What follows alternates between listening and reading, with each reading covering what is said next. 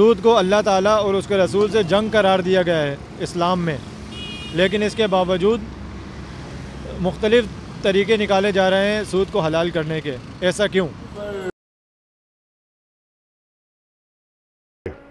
देखिए ये तो क़यामत तक होता ही रहेगा कि आदमी जो है ना वो कोई ना कोई तरीका जो है वो उसके ऐसे निकालता रहेगा।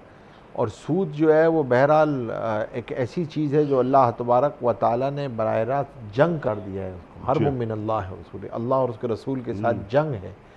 तो एक तो इससे बचनी चाहिए लेकिन असल सबसे बड़ी ज़िम्मेदारी तो ये रियासत की होती है कि रियासत अपने मुआशी निज़ाम के अंदर से सूद को किमार को निकाले जुआ और सूद इस किस्म की चीज़ें रियासत ख़त्म करे।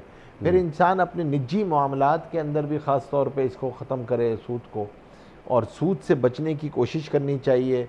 क्योंकि ज़ाहिर सी बात है, ये अल्लाह तबारक व ताली से जंग है और जब ये हराम आता है तो ये कमाइयों के अंदर बेबरकतियाँ लेकर आता है, अपने साथ परेशानियाँ, मुसीबतें, बीमारियाँ लेकर आता है। तो इससे बचना चाहिए।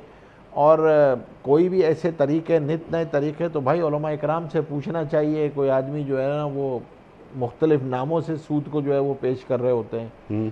तो इससे भी जो है वो कराम से फ़ौर रबता करना चाहिए से पूछना चाहिए कि भाई ये जो है वो चीज़ सूद है या नहीं है ख़ास तौर पे अपनी इन्वेस्टमेंट्स के अंदर अपने मामलात के अंदर जब भी करो तो उनसे ज़रूर पूछा जाए कि से कि भाई ये चीज़ हलाल है हराम है हम्म। इसमें अपने आप को से जोड़ना चाहिए की राय पर अतमाद करना चाहिए बजाय इसके कि आदमी अपनी राय पर अतमाद करे हम्म। या उस चीज़ के बेचने वाले की राय पर अतमाद करे